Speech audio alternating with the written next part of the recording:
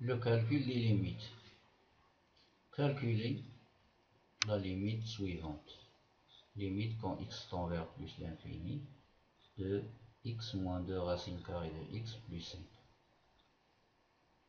Pour la solution, je vais utiliser deux méthodes. La première méthode consiste à factoriser par x, même s'il n'y a pas un x qui est facteur commun. Donc je factorise et je mets le x au dénominateur là où il n'y a pas de x. Ici, 5, il n'y a pas de x, donc je mets 5 sur x.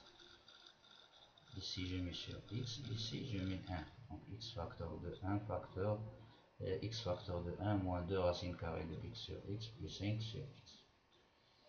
Alors, égal x facteur de 1.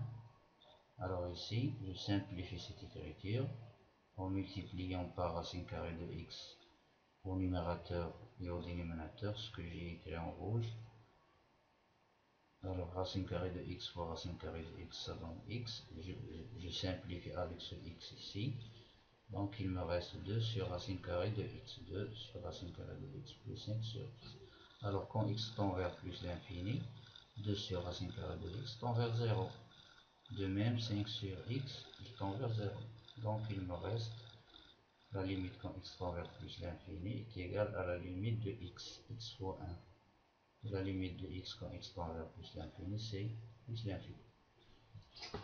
Euh, on va voir la deuxième méthode. Alors je vais écrire cette expression x moins 2 racine carrée de x plus 5 sous cette forme, puisqu'on est au voisinage de plus l'infini, donc x c'est euh, positif, donc, euh, possibilité de le mettre sous un radical. Donc x, je la remplace par racine carrée de x, le tout au carré, moins 2 fois racine carrée de x fois 1. Je fais apparaître le 1 ici, plus 5. Et ceci ce que je vais entourer celui-là c'est le début de l'identité remarquable de l'identité remarquable a carré moins 2 fois a fois b. A a c'est racine carrée de x au carré moins 2 fois a fois b. B c'est 1 a c'est racine carrée de x et b c'est. Donc ceci s'écrit a moins b, a moins b, le tout au carré. Ensuite, je retranche le 1. Quand je fais, quand je termine le, développement de cette identité remarquable, donc j'obtiendrai plus 1. Donc il faut le retrancher. Et plus 5. Alors ça donne racine carrée de x moins 1, le tout au carré, moins 1 plus 5, ça donne 4. Et cette expression, c'est quelque chose qui est positif, quel que soit x positif. Donc ça tend vers plus l'infini. Euh, passons à une deuxième limite. Calculer la limite suivante.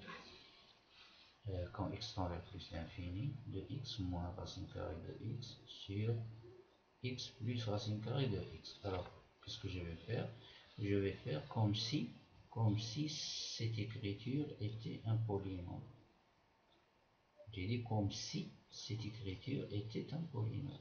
Ce n'est pas un polynôme ça. Alors, le degré de x, c'est 1. Le degré de x ici, c'est 1 demi. Donc, euh, lorsqu'on... Euh, la propriété ou bien la règle de calcul d'une limite d'un polynôme sur un polynôme voisinage de plus l'infini, on prend le terme du plus haut degré sur le terme du plus haut degré. Alors ici, je factorise par x. 1 c'est plus grand que 1 demi. Donc je factorise par x. J'obtiens x facteur de 1 moins racine carrée de x sur x. Au dénominateur x facteur de 1 plus racine carrée de x sur x je simplifie par x. Donc j'obtiens 1 moins racine carrée de x sur x, c'est, je simplifie en 1 sur racine carrée de x. La même chose ici. 1 sur racine carrée de x, il tend vers 0 quand x tend vers plus l'infini. Donc il me reste 1 sur 1 comme limite ಇದರ ನೋಡ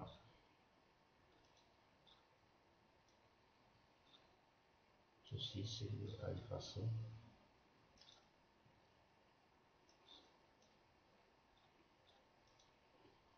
Voilà. Pour voir.